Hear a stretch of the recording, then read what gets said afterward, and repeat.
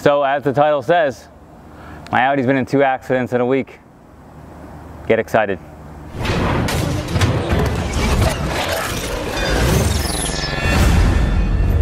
So we're gonna be talking today about the damage on the Audi. Probably over about 10 grand total in damage on the vehicle currently.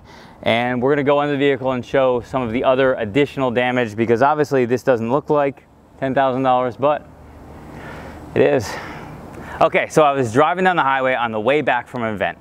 I was driving behind a Ford Escape and it kicked up a retread of a tire. It came out and contacted my front bumper. Now when it first came, all I could do was brace for impact. I was on the highway, there was a car next to me. I just braced for the impact, it contacted the vehicle. I wasn't exactly sure how bad the damage was. I then came back to the office where I was coming anyway and assessed the damage. And you can see it's more significant than I initially expected it to be. Front bumper is destroyed, this main grill is destroyed. It's missing both grills from the contact and then under here there's the fog light and a missing headlight cap. Now, let's go into the vehicle and check out under there. Okay, so underneath our vehicle, uh, first obvious damage is here. Nothing major, but this does have some damage on the lower engine shield here. The most important damage, and the reason, again, I wasn't driving the vehicle was because this whole stack condenser radiator assembly is all bent. We had a small leak that I saw. It doesn't appear to really have leaked out much coolant, but under pressure eventually we continue to push that stuff out then we would lose all of our coolant and the car would start overheating so this is going to be a big part of the expense is going to be this whole stack here and then all these components aside from the initial body damage and then we can go down and take a look at some of the other damage along the way a little bit more damage that is mostly cosmetic. There are a few components that are gonna be replaced here. These, the downpipes got contacted. This lower shield here got scraped here. There's some up there.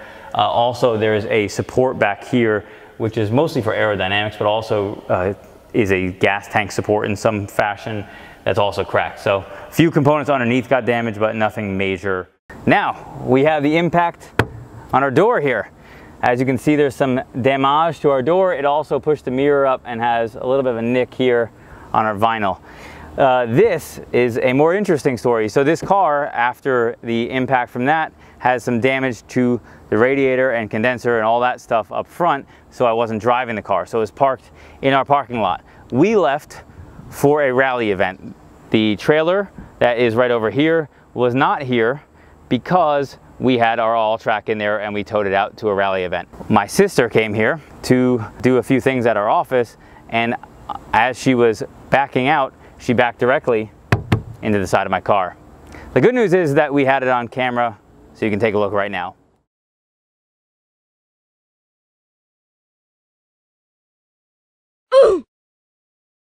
Okay, so let's talk about the damage to this. So this is an estimate from our shop. Labor hours for intercooler, radiator, condenser, AC, uh, recharge, replacing a bunch of the body parts, and any of the mechanical stuff underneath the vehicle. So the total labor hours on that $1,254.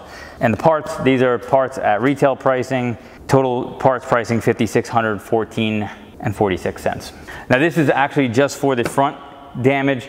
We also have a body shop estimate for painting this stuff and uh, fitting things, uh, you know, panels and stuff like that. Fenders oftentimes require a little bit of messing with as you may have seen flashback to our All-Trac fender fitting where we mounted it many times. Bodywork damage is actually pretty inexpensive relative to this cost. It's about $1,250 roughly for the paint work.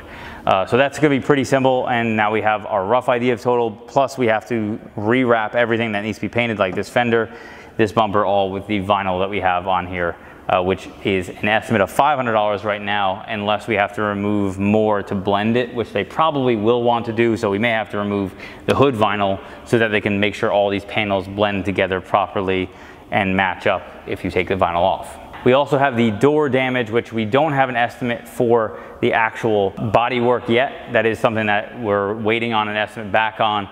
The door itself for a new door is about $800 or so roughly, eight or 900 roughly from the top of my head.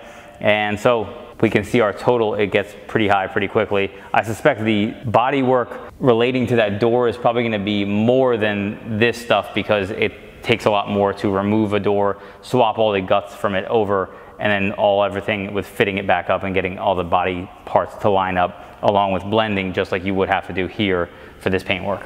Uh, the question is, is it totaled? First of all, we don't know the answer to that yet. I suspect it's not, but we have no idea.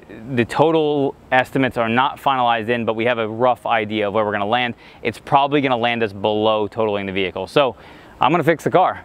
Uh, we are going to fix it at the shop, going to be on uh, our, our shop side. We're gonna do the mechanical work and then send the paint work with a fender, uh, the bumper, and then also the door with a new door and then paint work out to a body shop to do. So we will be fixing this vehicle.